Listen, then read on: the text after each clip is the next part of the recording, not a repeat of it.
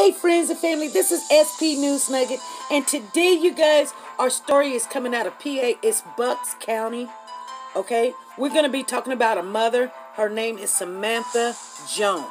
So, you guys, I'm going to tell you what all happened, but first of all, let me get through my intro. Thank you guys for being subscribers to the channel. I always, always, always am going to let you know how much I appreciate you guys. And if you're not part of the friends and family, please subscribe to the channel. Click that bell for notifications so when we upload a video, you get it also. Now down below, leave a comment. I can't stress how important leaving comments are because that's where we communicate. We talk from to each other, not only to me. And sometimes, you guys, I grab those comments and that's what we will talk about. And so if if you've done all of that, click that thumbs up, you guys.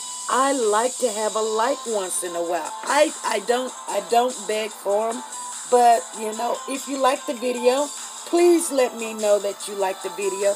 And if you don't like the video, hey, give me a, a thumbs down. That way I know I did something and maybe I need to look at it and do it a little different. So, you guys, let me get on with this story so you guys meet me on the other side. Here we go.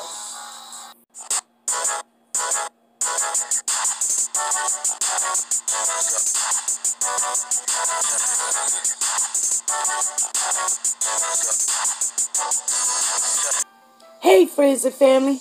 This is SP News Nugget. Let's get right into this story.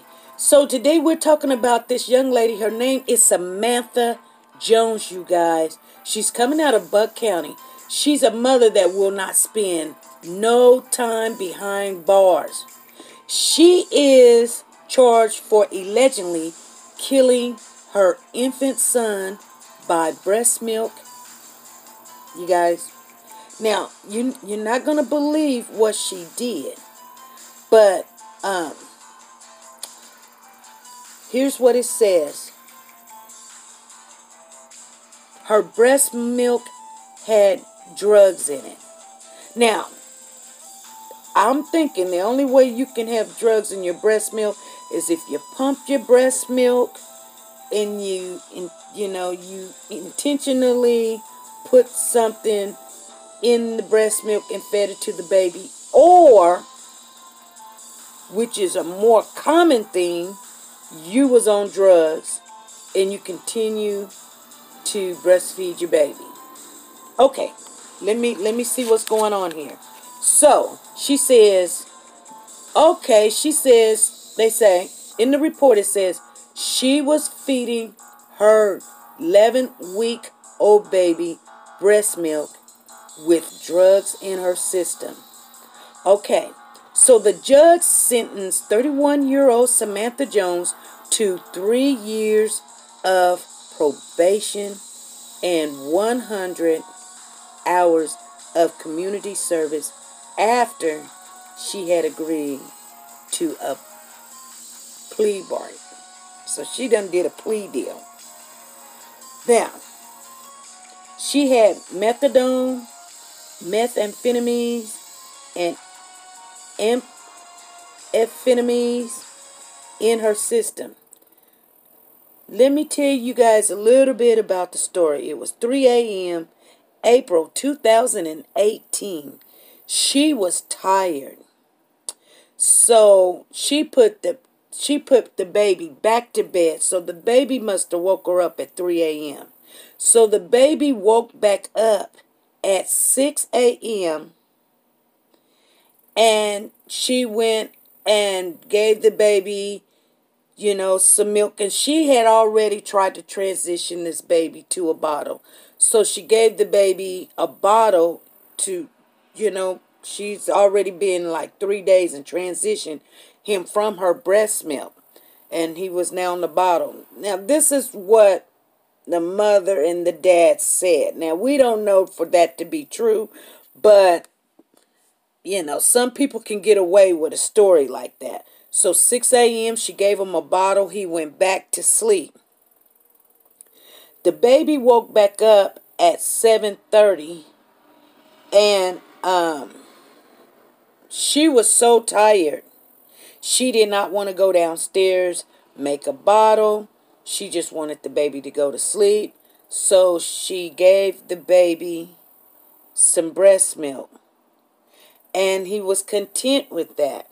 So, um, she when she woke up again, the baby, oh, the baby was not, you know, the baby was in distress. The father had already went to work, so she called 911 and they came and tried to help and the baby was pronounced dead about an hour later. Now, she was charged with a lot of things. Um, they had to get the story right. And the sad thing about it was, you guys, you know, the her husband, he's he's supporting her, but the sad thing about it was this woman had been dealing with um, trying to get off the drugs, but she continued to do them. Now, you guys, we're going to talk about it just for a brief moment because I gave you the whole story really quick, and I don't even know how I did that um, because I've got something else going on there. Okay, so you guys, what do you think about that? The baby is gone. 11 week old baby. And the mother knew she was doing drugs. She she was doing drugs. And so she was just so tired because the baby getting up, baby getting up. The baby already had it in the system. I don't even know why they probably didn't even catch this in the baby system, you know, when she probably had the baby. I'm just saying for the baby to be addicted to it. And that's probably why the baby was crying. It needed that, you know, and it took so long. You know what I'm saying? So, I mean, that was their story. That was the parent's story that the mama was getting off of the drugs. And so uh, she had already started transition the baby onto the bottom. What do you guys think about that? Do you do you think that that she had been doing that. I don't know. But I'm going to give her the benefit of the doubt. And I'm going to tell you why I'm going to give her the benefit of the doubt. Well, it don't have to be that she's telling the truth. Because we know people will lie. And sometimes the police department, it all depends on who you know, you know, and what, you know, and, and what you will pay. That you can get out of some stuff. If you ain't got no money, then you're to do the time. That's just that's just part of the system and we know how that system works. But sometimes if what you're saying backs up um this you know with the evidence that what the uh, MA the uh, medical I mean the ME the medical examiner comes and say you know because I'm they might have a way to know that this baby hadn't had a lot of these drugs in his system, you know, and all of a sudden he got, you know, one dose because I'm, I think it stays in your system for like 24 hours or something. Three days, three days, three days. I'm pretty sure of it, like three days or something. And so it probably wasn't in the baby system three days, but I don't know how they can, you know, they got ways to figure things out. I think that sometimes the ME can't really know the time, the dates, and things. They say that they can. I think they're given an estimated time, and a lot of it ain't right. But who who's there to, you know, argue that or debate it, you know? But I have to look at the situation like who else? I mean, we're going to have to, you know, even though we don't know if what they tell us is true, we still sometimes got to go by what they say because that's all we have.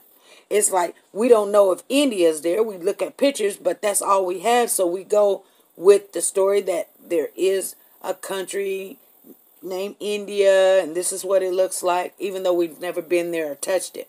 So, um, that's why I'm giving her the benefit of the doubt that maybe she may be telling the truth and she had been trying to transition the baby onto the bottom because she she knew that she was you know she had slipped up and uh, used again and uh, I, i'm not badgering nobody i know there's different types of addictions out there and things happen and then you don't look at you you sometimes may think you know i can just go do this and nobody will know. And then you in a situation where the baby wants to eat and you're like okay let me go near to feed the baby knowing what you just did. But i don't you guys tell me what you think. Tell me down below in the comment. Okay so that's all i have for today. You guys be good be safe and be nice to each other. Bye